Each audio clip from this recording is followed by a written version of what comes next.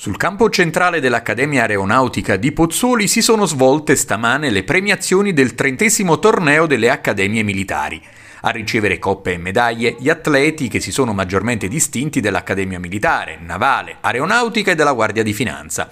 Un avvenimento sportivo importante anche perché dal bacino degli atleti militari ogni anno, ma soprattutto alle Olimpiadi, la nazionale italiana riesce ad attingere gran parte delle sue risorse migliori. Ai nostri microfoni il generale di squadra aerea Silvano Frigerio. Io penso che lo sport e le forze armate, grazie al contributo fondamentale che hanno dato per la, la resilienza e il recupero delle funzioni normali del Paese siano stati due ingredienti fondamentali per, il, per fare da collante proprio per, per il Paese, per mantenere coesi i valori nazionali e l'amor di patria. A premiare gli atleti anche il presidente del CONI Giovanni Malagò a margine dell'evento sportivo. Il numero uno dello sport italiano si è soffermato sul prossimo impegno della nazionale di calcio, che può valere l'accesso agli spariggi per il prossimo mondiale. Malagò è preoccupato anche visto lo stato di forma e di gestione deficitario e fallimentare del movimento del pallone nazionale, fuori per l'ennesimo anno dalla Champions che conta dal 2010 non vinciamo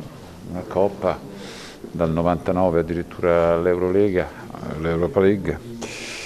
E I numeri rispetto anche ai nostri tra virgolette competitor sono impietosi. Se anche magari ecco, destini qualcosa di più ai settori giovanili, probabilmente visto che i parametri sono sicuramente non favorevoli rispetto, rispetto ai nostri diciamo, eh, competitor europei probabilmente sono anche del, dei discorsi che non ottieni nel breve ma nel medio, forse nel lungo termine, ma ti danno dei risultati diversi. La nazionale in realtà hanno fatto un miracolo ed è per questo che oggettivamente insomma, siamo tutti sì, ottimisti, molto, ma col fiato sospeso per, ovviamente per eh, questi spareggi.